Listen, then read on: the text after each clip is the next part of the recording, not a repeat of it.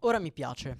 No, no, non sono Zano, o meglio, non sono lo Zano che molti pensavano che io fossi. La verità è normale che lo pensiate, mi chiamo Zano, non sono come Zano il uh, grande gamer. È un gamer, giusto? No, ovviamente so a grandi linee chi è Zano il gamer e che cosa faccia. So che è un pro gamer e che gioca a FIFA. O sbaglio? Gioca a FIFA. Dovrebbe giocare a FIFA. Il fatto è che nonostante io non sappia praticamente chi è lui, porto un grande rispetto solo perché abbiamo un nome simile. Ora, io non so come Zano si chiami effettivamente di nome. Aspettate. Allora, eh, Zano di nome f- si chiama Cristiano Spadaccini. Spadaccini. E non ho voglia di leggermi Webbo. Vabbè, il fatto è che è uno degli influencer streamer più grandi d'Italia. Ogni volta che leggo Zano mi, mi sento chiamato in causa. Ma perché io mi chiamo Zano? Perché mi sono permesso di rubargli il nome come alcuni mi hanno scritto su Instagram. La verità è che non ho rubato il nome a nessuno, forse solo ai miei cugini, perché io di cognome faccio Zanotti e questo chi mi segue lo sa. Io mi chiamo Emanuele Zanotti, ok? E non è un segreto che tutti dicono "Ah, dimmi il tuo vero nome". Cioè, se guardassi il mio canale YouTube lo sapresti bene perché tutta la prima stagione di TBS io mi chiamo Emanuele Zanotti e non Zano per il semplice fatto che lì non avevo ancora capito una cosa molto importante. Zano è molto più vendibile di Emanuele Zanotti per il fatto che è corto, sono quattro lettere. Tra l'altro, tra l'altro il mio nome Zano come content creator non ha neanche la maiuscola. Io sono Zano, minuscolo, tutto minuscolo e basta. Ok? È facile, è vendibile. Ok, uh, rimanendo seri sono molto contento che quel video, quel vlog sia andato bene, in cui riassumevo il mio 2020. 2020, certo, il 2020, in cui riassumevo il mio 2023. Ed è una cosa che ho fatto spesso, almeno due volte qua su YouTube. Per il 2021 ho riassunto non il mio ma il 2021 in generale e poi ho eh, riassunto il 2022 con Piazza nella nostra eh, puntata finale della prima di TBS. Tra l'altro Zano fa parte dei Melagodo e ha pubblicato alcune canzoni con Blur e o prodotte da Chakra. Tanta roba Zano quindi, è uno degli streamer più influenti. Non sorprendetevi se io non conosco bene il mondo di Twitch, non ci passo molto tempo, perdonatemi. Le uniche live che ho mai guardato su Twitch sono quelle di Victor Laslo 88 prima che si spostasse qua su YouTube. Fatto sta che ehm, ho scelto Zano, ma perché ho scelto Zano? In parte ho già risposto. Eh, perché è molto più vendibile, ok? È molto più semplice, diretto, Zano. Mi trovo a volte per strada con qualcuno che è venuto a vedere TBS.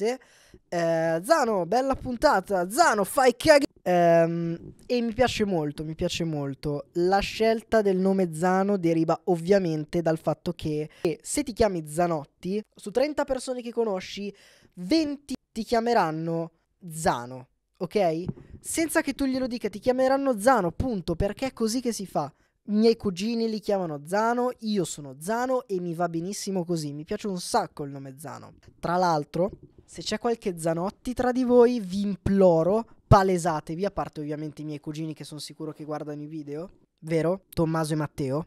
Vi vedo, eh? Vi vedo.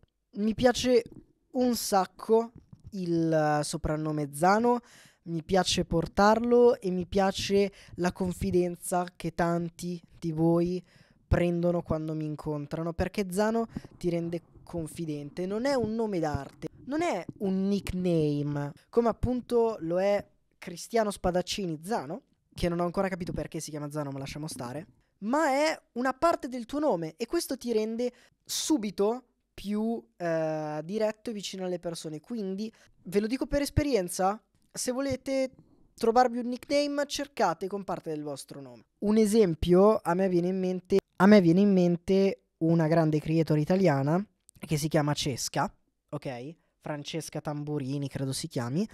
E lei, Cesca, ha preso il suo soprannome. Io stesso, prima di chiamarmi Zano su YouTube, avevo un soprannome che era Zanotier, S Zanotier, che però era veramente tanto tanto difficile da pronunciare, quindi l'ho cambiato. Ringrazio Emilia, la mia amica storica, che mi ha dato questo soprannome.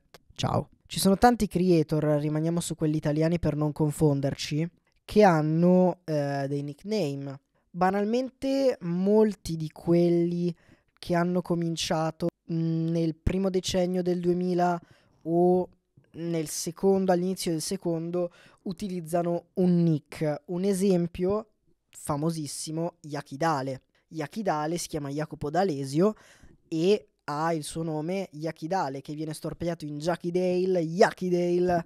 Grande Jacopo, ti volevamo a TBS ma non ti abbiamo scritto. Comunque, avere parte del proprio nome come proprio nome d'arte, se vogliamo, è una cosa che fanno in molti, che fanno in molti e molti che diventano star internazionali.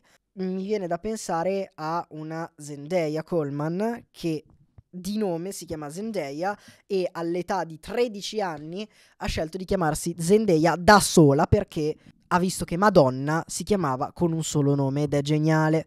C'è invece chi sceglie di tenersi il uh, proprio nome originale, come per esempio una creator statunitense che è famosissima, ha lavorato anche per Vogue, che è Emma Chamberlain, che ha tipo 10 milioni di follower, adesso non mi ricordo, però il fatto è che è diventata famosissima, ha mantenuto il suo nome, sì, ha tagliato Emma Francis, però quando ci si sceglie un nome su YouTube o da qualsiasi altra parte del web è sempre un rischio, perché non sai mai se piacerà o meno, devi sentirtelo tuo. E io, Zano, me lo sento nettamente mio. E come già detto, e lo ribadirò sempre, mi piace portarle, mi piace che la gente per strada mi fermi e mi dica Ehi Zano, vaffanculo! Detto questo, uh, seguitemi perché adesso faccio un altro video che non so quando vedrete. Ciao!